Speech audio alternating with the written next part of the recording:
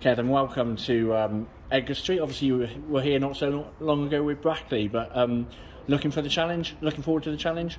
Yeah, absolutely. Delighted to be here. Um, I've been here a few times in the last few years, whether it's with Solihull in the Cup or pre-season games with Brackley. So, and always experienced a good atmosphere here. To be fair, I think when there's a Solihull in the Cup, the crowd are right behind the team, and it's a difficult place. I think we time Manchester a 1 0 win, but we were really under pressure, and the fan base has a massive part of that. And I think that's a big draw when you're bringing some lads in here and you tell them got over thousand season tickets sold and the expectations and the fan base and, and the history of the club. So it's a big selling point for the club. Yeah, I've been asking most of the players kind of how Paul sold the move to them, and I think everyone's given that answer and saying that the crowd and the stadium are two really big parts of it. Yeah, absolutely. And um, well, we've been speaking to Paul for a number of weeks now, and um, I think we have to share a lot of the same ideas and principles and what we believe in and standards. But yeah, as you say, when you're speaking to the players about coming in here, it's, it's an easy selling point. If people want to progress in the football and, and somewhere to play and experience good atmosphere, I think there's probably no better place. I think most Hereford fans probably remember you from, from your appearances here before. Um, but how would you describe your style of play to them? Um, well, through the years, I've always been in the in the box trying to get on the end of crosses and goals. If we can get saves in the box, then hopefully I'll be under the end of them there.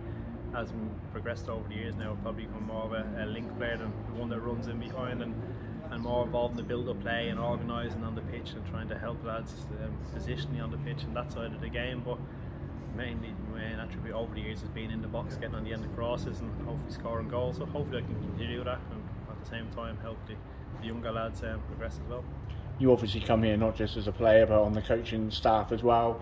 Um, but I guess just watching you at training today, you're very much a kind of encouraging kind of guy and trying to, to, to lead by example. Yeah, absolutely. I've always been, I've always tried to be a positive person. Um, I don't really see the point in being too negative. Um, at times, people will need a kick up the backside and they need to be shouted at and organised. But I think the best way to do that is through encouraging people. Um, I think you get better reactions. So listen, both sides will come into play, but no, try and encourage lads, especially younger lads who just probably haven't played at a higher level, just to try and help them improve the game ultimately, because a lot of lads at this level want to go and play as high as possible. So we can help them progress, then that'll only do us well.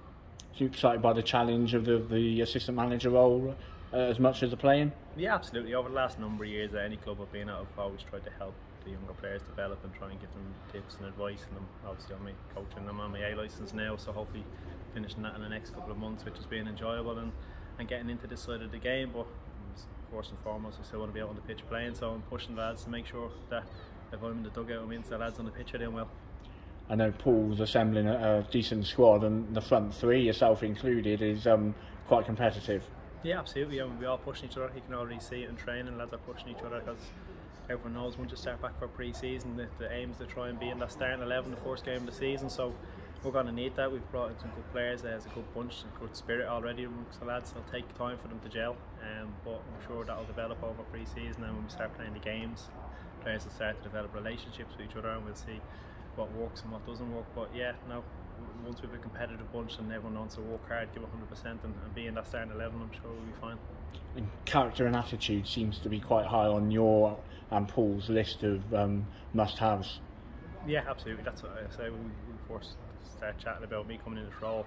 We obviously discussed what our different thoughts were in terms of what we expect from players and from the clubs we've been at, the standards that we've set and been used to. And we're very similar. Um, we'd often write down three or four words and we show each other, and there are similar words in terms of just attitude, desire, work, all basic stuff that you expect from players. But in this day and age, you don't always get it. So we'll be demanding from that because I think the fans as a whole deserve to see players giving their all on the pitch, especially at home. You want to get the crowd behind you. So to do that, you need players that are going to give 100% um, and, and do their best. If people make mistakes, we have no issue with people making mistakes as long as they're trying to do the right things and, and do react well looking forward to the first pre-season game next weekend? Yeah, we've loads of good games coming up. Um, as I say, we've not got the biggest squad at the minute, so we'll have to manage the lads' minutes and make sure we don't overdo it too early on because the last thing we want to start picking up is injuries too early. But we're having a look at a few lads as well. But now plenty of games to come over the next month and so, and, and hopefully the big one here will be probably the West Brom game, first home game. I think everyone's really looking forward to that. So, yeah, looking forward to it now. you. Thank you very much.